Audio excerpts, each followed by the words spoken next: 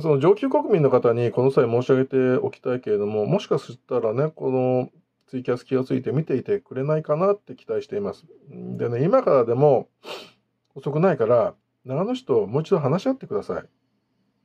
公園廃止まで俺は求めてないよって言ってください。それだけでいいと思います。うるさ子供うるさい遊ばせ方をね、してはいけないっていうのは、あなたの主張としては言い続けてもいいと思います。だけど、廃止まですることはないんじゃないんですか？って言っていただけないですか？そうじゃないと、あなたの立場が、俺心配してるんですよ。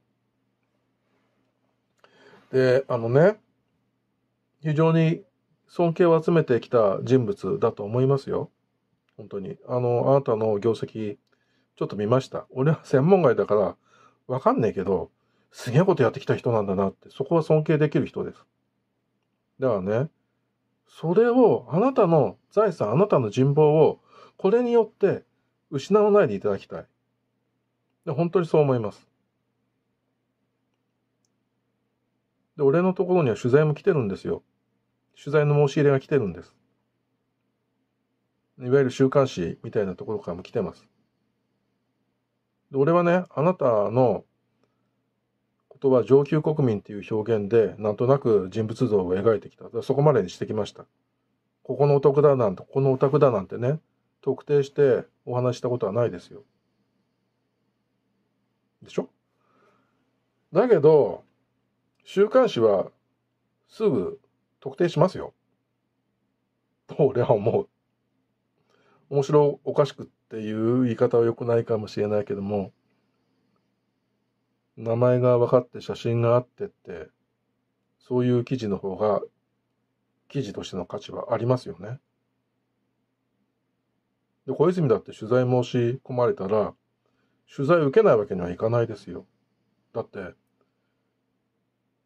子供のためにやってることですからね。俺だってこれをやってきた立場があるから、立場もあるし、子供のことも考えなきゃいけないから、それは取材してくれるのはありがたくお受けしなきゃいけないです。で逃げるわけにいかないですからね、ここまでやっといて。そしたら、どうなのかってことを考えていただきたい。それを、それがわからないほど、あなたは愚かではないはずだと俺は思う。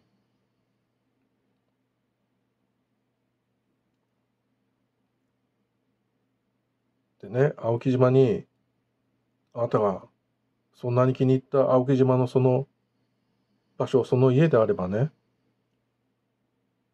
ここは住み続けるために自分で判断して動いていただきたいと思う。うん、俺間違ったこと、間違ったこと言ってないよね。で、あの、こんなやつ追い出せとかね、そういう言葉もネット上にはありますよね。だけど俺はそこで、それはね、言っちゃいけない言葉だと思います。うん。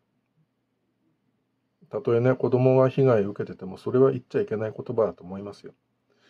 で、子供の被害が回復できれば、俺はそれでいいです。それが一番ですよね。それが一番だけれども、クレーマーさんのあなたのことも俺は本当に心配してるんです。